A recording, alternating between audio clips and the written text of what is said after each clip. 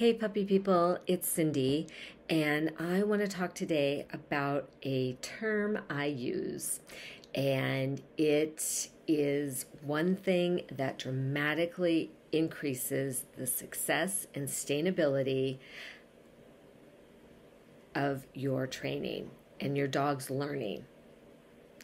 Now, this term is something that I started using, and I'm sure once I put this out, other trainers will start using it too, but you heard it here first. And the term is micro training.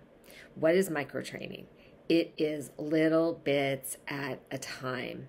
So the biggest mistake I see people do is they're like, oh, I'm going to spend an hour a day training the dog. I'm going to spend, you know, this a lot amount of time doing it.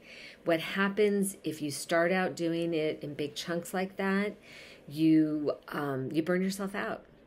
And it's not sustainable. Because life happens. We get busy and we can't always spend an hour a half an hour even 15 minutes doing a quote unquote training session. So what is micro training micro training is doing little bits at a time. I um, i learned this from uh, herbologists where it's called micro dosing is taking little bits at a time to see what's going to work. So I started using it, I adapted it from them. Um, micro training is doing five minutes here, two minutes there, three minutes here. And it's really even taking it a step further. It's about being intentional with every interaction that you have with your dog. Because your dog doesn't learn just during a quote unquote training session, they learn every interaction that you have with them. And in fact, they learn every second of the day. So do we. Its behavior is really how an organism interacts with its environment. That's the definition of behavior. So when it comes to your dog, it's about being intentional with every interaction that you have. So it's not fair to your dog to let them jump and go crazy on you when you're ready for it, but maybe if you're not, then you get mad at them. They don't know the difference between when you're wearing jeans and white pants. They're just going to jump all over you because that's what you've rewarded them for, so they think it's okay. They don't know that it's okay to do it in one instance but not another.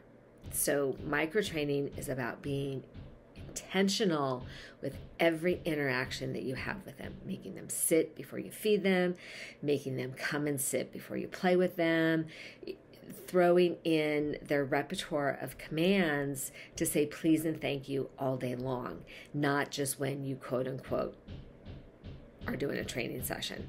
So, micro training, little bits here and there. It's the law of something, doing something a little bit at a time adds up to a big something. One drop of water, if you increase it, drop after drop after drop, turns into the ocean. And one grain of sand is nothing, but grain after sand, grain of sand, grain of sand, grain of sand makes a beach, makes the earth.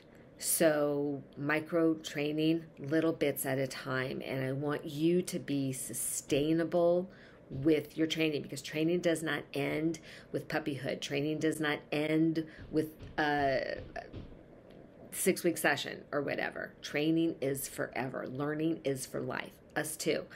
Uh, so, micro training. Get in the habit of being intentional with what you're doing with your dog. Catch you next time. Thanks for hanging out with me. Go play with your dog.